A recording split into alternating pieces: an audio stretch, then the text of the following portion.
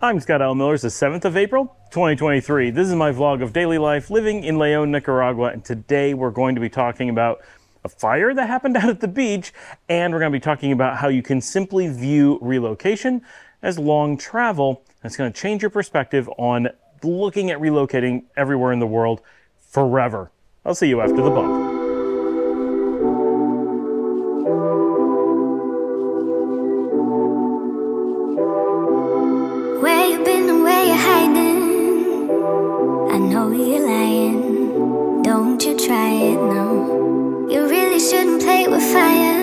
Put it out with water. But now you're drowning. There's been a whole lot of trying, whole lot of crying, whole lot of telling me I should be dying be like you.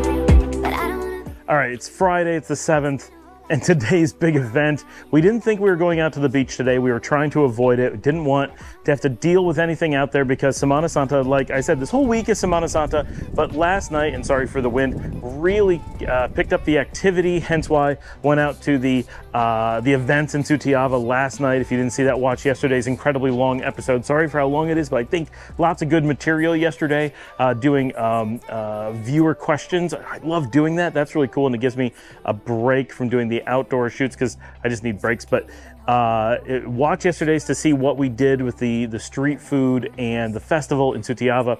Today is Friday, so Friday, Saturday, and Sunday are the mayhem days out at the beach, and we're like, no way are we going out there. Not gonna do it. We don't even want to see it. Like we know what a what a mob looks like. No need to be there for it. And uh, we thought we were going to get away with it. And then in the middle of the day, we suddenly got called because Alan had gone out to the beach and he put on um, WhatsApp, which fits with the video we just made about WhatsApp. And uh, started just sending me video of what was going on. So I couldn't see what was going on. I thought it was a butt dial. And uh, then I realized it was the fire department and the police department were there because our neighboring business was on fire. Now, if you're looking at a map, uh, it's a little bit hard to tell because the satellite is a little bit fuzzy and the labels on some things are off a little bit. But Playa Roca sits to the north of us. We have the Simple Beach Lodge and Pirates Point uh, complex. South of us is hard to define. On the roadside, there's just a house that during the busy season, with just a few weeks, gets turned into an ice cream shop. Uh, sometimes it's a fish store. I think it's just squatters in there. I don't think anyone actually owns the place. Uh, and then behind it is a bunch of just shacks on the beach and kind of sandwiched in between is Buena Onda Surf, which we use sometimes. Uh, we just rent out some space and use the extra space as our second floor so that we can fit more tables in. I don't exactly know whether we were using it or not, what exactly was going on, but some, uh, apparently a couple of girls snuck up there uh, and, and ignored the no smoking signs, started smoking, threw a cigarette off, and lit uh, Leon Surf, uh, which is next to us, on fire. And uh, they had the roof on fire. So the hotel responded. We had all of our fire extinguishers, and people were out there with buckets, and they were able to get the fire out. Minimal roof damage, not a huge deal. Um, I think they estimated about $150 worth of damage.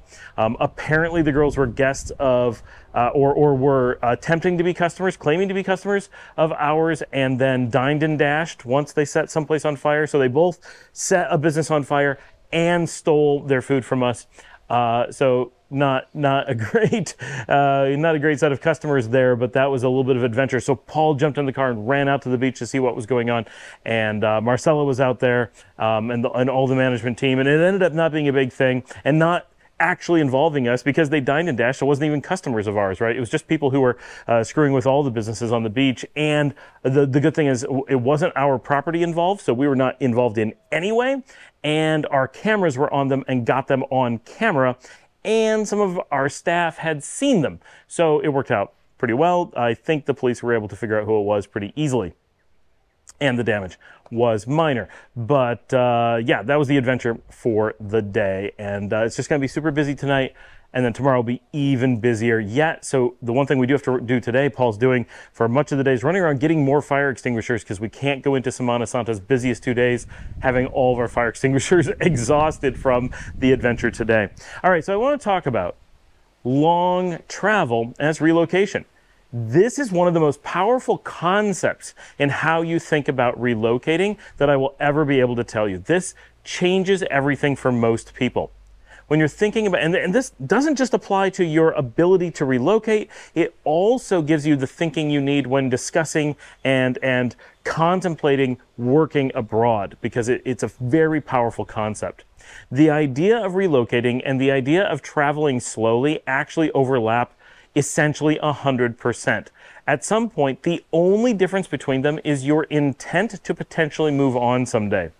If you look at travel hundreds of years ago, think about Victorian England. When people would go between the United States and England, for example, people would sail over, it would take weeks, they would spend months at a time, sometimes years, and they wouldn't consider it moving to a new country. They would simply think of it as being on an extended vacation or trip. Because it took so long to get places, because it was such an an ordeal to do so. The the trips became months or years long, uh, typically months, many months in many cases. People would go to Paris for a year for example, when uh, when students were, were getting done with university, they would, or before they started university, they would do the grand tour of Europe, and that could take months or years to do that. It was just expected that going to see things took a long time because you weren't going to see an attraction like Disney World, and you weren't spending money like you were in Disney World. You were going to a place, and the purpose was to visit the museums, get to know neighborhoods, maybe learn a language, get to really know an, a city, a, an area, people, make connections um, become culturally uh, uh, invested in a place. And so the idea wouldn't make sense to do it quickly. And relocating isn't that much different. From a legal perspective, tour, being a tourist and being relocating like a digital nomad completely overlap. There's no difference, right? When you start seeking residency, and especially if you start seeking citizenship, yes, that starts to change things. Then you have moved in a, in a legal sense, in a, in a concrete sense. But unless you decide to do that, really the idea of relocating is simply one of traveling really slowly and taking the time to settle in the same way that people used to always do it. And once you start thinking of it that way, you start worrying about a lot of things less. You don't need to worry about buying or investing as soon as you arrive, or worse, before you arrive. Sure, you might still want to do those things, but you're thinking of it differently. Well, I'm showing up and I can always make decisions. But the most important thing, the biggest one, is fear. People talk about how worried they tend to be. A lot of people, not everyone, but a lot of people worry when they think about relocating to a new location. And uh, on my channel, you know, Nicaragua is often a big leap for a lot of people. Uh, often it's the first place you've looked at moving abroad. If it's not, you're less likely to be on my channel, of course. And uh, people often need reassurances. They often need uh, hand holding, and there's nothing wrong with that. But often it's because they're thinking of relocation as an irreversible permanent decision. But let me ask you, the fact that you're looking to relocate at all indicates that your first location was not a permanent decision. And yet, if you ask people, are you permanently located in wherever, United States, Canada, wherever you are, you say, well, yeah, that's my location. It's permanent. But could you move? Of course, yeah. I mean, I don't plan to, but I'm indefinitely here. Okay, great. Now that you're looking at moving, that relocation, you may think of it as permanent or indefinite. But the power to move again hasn't changed. You can just move on. And so the difference is when you do long travel, you tend to say, well, I'm going to go to Nicaragua, maybe for a month, maybe for three months, maybe for two years. But I then plan to move on to, name your place, Paraguay. I'm going to go to Paraguay for a long period of time. The dogs have found a coconut. And if you're moving to some place and you're thinking of it as relocate as relocating, you're going to say, "Well, I'm moving to Nicaragua." Oh, and when do you plan on moving on? I have no plans to move on. This is fair. That is e- essentially the difference. The important thing is at any moment, the person who's moving to Paraguay could say, "You know what? I don't want to move to Paraguay. I love Nicaragua. I'm going to stay here another 2 years." And the person who was planning on staying in Nicaragua could say, "You know what? It's been 2 years.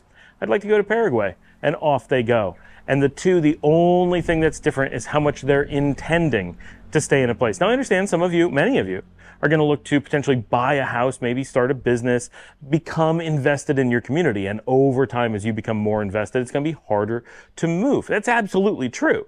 100% in every possible way. And I am the same. I am a slow mover in general who has settled indefinitely in Nicaragua. For me, the key difference, and for many of you, the key difference will be, do you have a home base where you store your things? And that is what happens to me. This is where my children are being raised. My dogs live here. All of my possessions are based here. And if I go for a long time somewhere else, I don't plan to take them with me. Now, in the past, when I moved abroad and moved to many different countries, I did take everything with me. So in uh, the way we talk about it, that was relocation. Yes, we left a storage unit back in the United States, just as we do now, because there's some things that are impractical to move anywhere, and it's just we don't want to throw them away yet, and we're right in the barrier of doing that. So soon, hopefully, that will change. But uh, here, we've made the decision for us that Nicaragua is going to be our base. And so our things accumulate here, and our dogs live here, and our children call it home. And when we look to move on somewhere else, unlike in the past when I moved other places, I don't plan, at least plan, on giving up my home in Nicaragua. I plan on keeping this as a home base, keeping my dogs here, returning here. I never planned to return to the United States, not as a place to live. I only ever planned to return to it as a place to deal with some logistics before moving on to the next place. So that's the difference for me. But for you, you need that's all you need to think about. Is Nicaragua a place where you're going to invest and call it home? You can always pick up and move again Yes, it could be a hassle, but each time it gets easier and it's always an option for you. So mentally, I really recommend thinking of relocating for anyone for anything as being a form of travel. Really, life is a form of travel. And for some people, it's simply a a journey where they never get going. And for others, it's a journey where you're constantly moving. And for many of us, it's a journey where you move sometimes and don't move sometimes. But picking a place to live once you're free of your original location. That freedom to move whenever you want is always there. And even if you never leverage it, knowing that that freedom is there, knowing that the power to move to countless countries, tons of cities, amazing amounts of different regions and areas, all lies within your grasp. And the only thing stopping you from moving to them is your decision not to. And I'm not saying you should make the decision to do it. I'm saying that you should realize that the power is in you. Anytime you want to go, you could go. Today, you could pack up and move to hundreds of different really beautiful, interesting locations. Maybe the best one is Nicaragua, but there's some that get really nice elsewhere too. Knowing that all of them are there anytime you want is a really freeing and overwhelming thing. Knowing that, ah, all of the world is is laying at your doorstep and all you have to do is decide to go if you want and you could be in those places. It's it's liberating. And i suggest you take the time to internalize because it makes relocating completely not scary. I mean maybe travel is scary. Maybe getting on an airplane for you is scary. Maybe crossing a national border is scary. Maybe setting up an apartment for, you know, you're going to Paris for the weekend and you find that nerve wracking. Maybe hotels are okay, but renting an apartment is scary. Those things aren't going to change. Those things remain scary.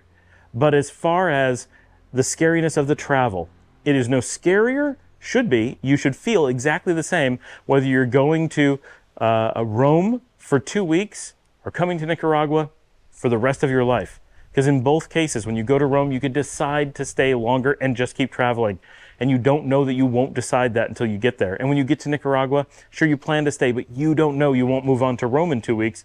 That decision is there for you to take whenever you want to take it. Thanks for joining me. Please remember to like and subscribe. If you'd like to support the channel, check up here. You can buy me a coffee at buymeacoffee.com slash Scott Alan Miller. A lot of you have. Thank you so much. It does so much. We have a surprise new bit of equipment. I have some equipment that I've announced and some that's going to be a surprise, hopefully coming in two weeks from now. Uh, I'm going to have new content for the channel. I'm not going to tell you what it is. I want to I want to see if some of you can guess what we're using to do some new filming, and I hope that it actually arrives because uh, I've got to get it brought in from the States. And uh, but it's it's all of you who are buying a coffee for me that make it possible for us to get new batteries, new tripods, new cameras, new shots of things, new epic footage. And I hope uh, some of you have complained for legitimate reasons, I'm complaining inside my head too that we really need to have more B-roll, more interesting footage, and not just my talking head all the time. I want to make that happen. Right now I'm super busy, so that's partially hurting that, but I want to get more equipment to make that a lot easier as well. So if you could support the channel, even in, even just a single coffee makes a really big difference. And uh, of course, share in social media, Facebook, especially Twitter, LinkedIn, Reddit, all those things. Tell your friends about the show. Send the link to people. Say, this is really interesting. I learned about tr- three thinking relocation as travel. Let people know. This is something that people need to know.